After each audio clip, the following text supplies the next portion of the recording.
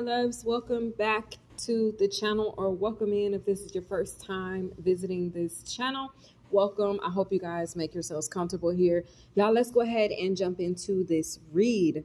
Now, this block of readings is going to come through a little different, okay? Today is uh, August the 12th. It's Monday that I'm going to go ahead and record these reads, all right? So, um I have about 12 or 13 reads that I need to record. I'm probably going to do half of them today and then I'll come back later and drop the other half or however. But they'll reach you guys when the time is right. Okay. Speaking of the right timing, y'all, next year, let me just kind of talk for just a minute about next year because next year is going to be all about um, divine timing. Okay. 2025 is going to be a year where you're going to see um, God prove that it is His time, not our own, and not anyone else's, that um, matters. Okay.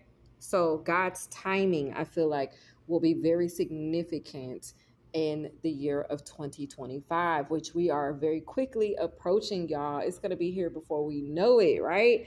All right, you guys. So, the title of this read is going to be Look with the Eyes of Your Heart.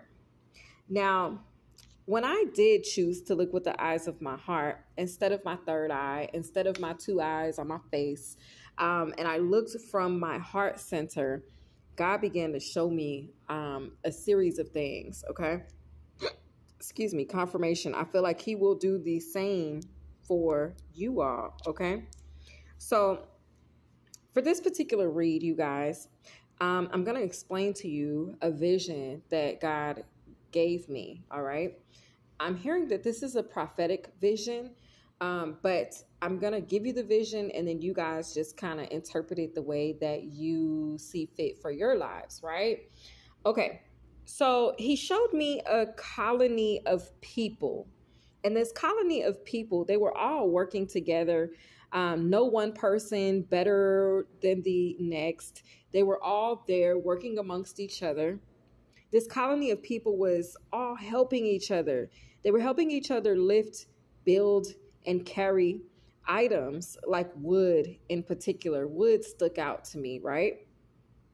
So some of these people, they were tall, some of them slim, some of them short, some of them round, but all pulling their own weight, all equally strong, all equally powerful. Next, I began to sense that someone I knew was amongst this colony, amongst these villagers. So, in my vision, I started to look around. I'm like, well, who is this that I know here? And it's like I was I was drawn to the person that I knew that was in this colony of people. I went right to him. I looked around, I found them, and my eyes met a familiar face as I was drawn to this familiar face, the closer I got, I realized that it was my grandmother. Ancestor energy is in the building, okay? Now, I rushed over to her in this vision, and it was crazy because this vision, it actually felt like something that was taking place maybe in another dimension, in another time period, right? Because it felt so real. But I rushed over to her and she, with excitement, dropped the items that she had in her hands and she embraced me with a hug. Y'all, some of y'all grandmas gave the best hug, okay? I know my grandmother did.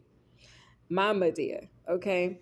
Now, she then raised one hand in the air. She drew the attention of the other other villagers and she shouted, "Look y'all, my baby made it. She's here she's here. And she was pointing at me.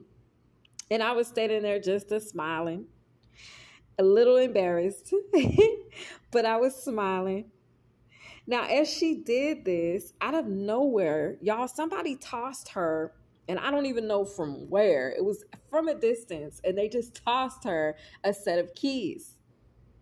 Now, as she received the set of keys in her hand, and she caught them, My mama had, my grandma had hands, okay? She caught them.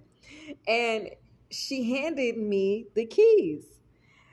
As she did, I asked her, my dear, What are these keys for? She said, These keys unlock your heart. As she said this, she was drawing an imaginary circle around me.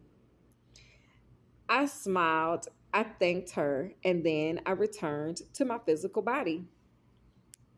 So, this is the message that I have for y'all today. Once again, I'm going to let you guys interpret this in the way that resonates with your soul. But this is the vision that God gave me to share with you all. And I'll be doing that for the next probably five to six readings. I hope that you guys enjoyed this message, my loves. And I can't wait to see or hear about your guys' interpretation of this vision. I love you guys, and I will see you guys in the next read. Have a great day.